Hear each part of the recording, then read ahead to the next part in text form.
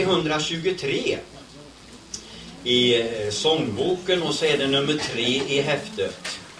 Det är en liten fortsättning av det här att det är saligt att få vandra med Jesus. För den handlar om att eh, vi kommer ifrån olika håll.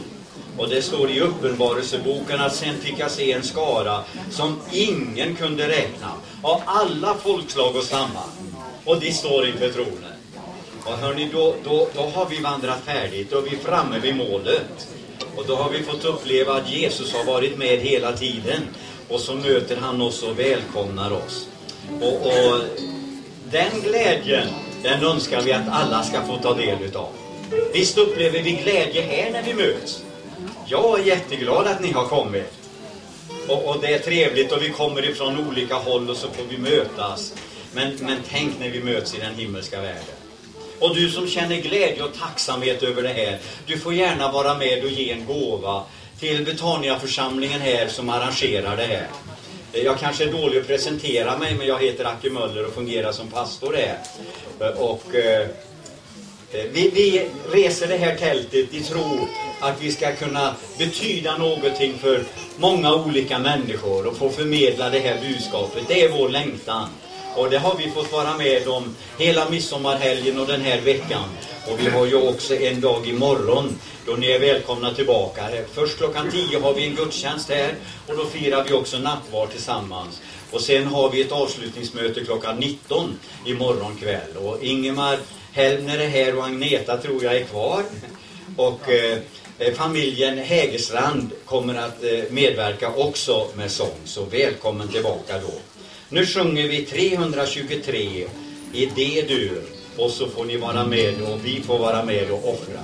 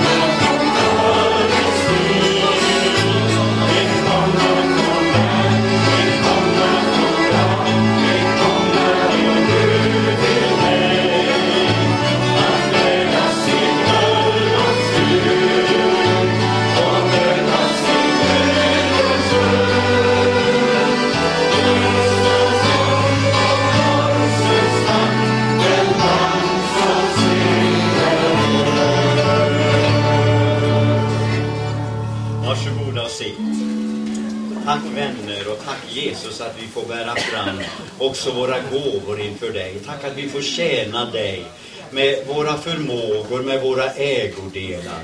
Tack att vi får vara med i ditt rike, Herre. Och tack att du har bjudit in var och en att vara med i Guds rike.